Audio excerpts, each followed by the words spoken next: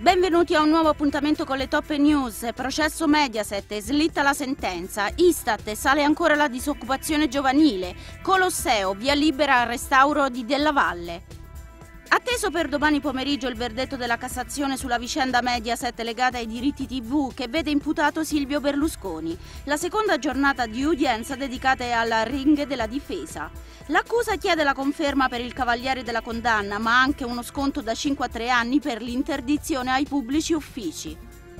La crisi non molla la presa sull'Italia. Nuovo record di disoccupazione giovanile che a giugno ha sfondato quota 39%. È quanto rivela l'Istat che ha diffuso anche le stime preliminari dell'inflazione. Si mantiene moderata ma non frena il carrello della spesa, ovvero dei prodotti acquistati con maggiore frequenza, più caro del 2% su base annua.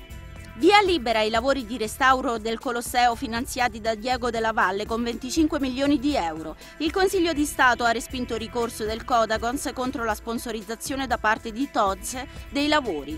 Una decisione assurda, commenta l'Associazione dei consumatori che impugna la sentenza e ricorre in Cassazione. Rimane irreperibile padre Dall'Oglio, il gesuita italiano scomparso in Siria e ricordato dal Papa durante l'omelia alla Chiesa del Gesù nell'anniversario di Sant'Ignazio di Loyola. Francesco ha invitato a pregare per il religioso, mentre il ministro Bonino ha assicurato che tutti gli strumenti di intelligence sono stati messi in assoluta attività. Primi interrogatori in procura per individuare eventuali responsabilità nell'ambito dell'inchiesta sull'incidente al bus precipitato dal viadotto in Irpigna e costato la vita a 39 persone.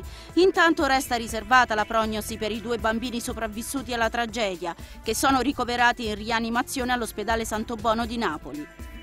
Nutro una sconfinata ammirazione per Beethoven e non ho mai parlato di lui nei termini riportati. A ribadirlo è Giovanni Allevi prima di aprire il suo concerto all'Auditorium di Roma e per chiudere le polemiche che non sembrano cessare sul web, dà il là al suo live con la quinta di Beethoven, un'esibizione accolta da calorosi applausi.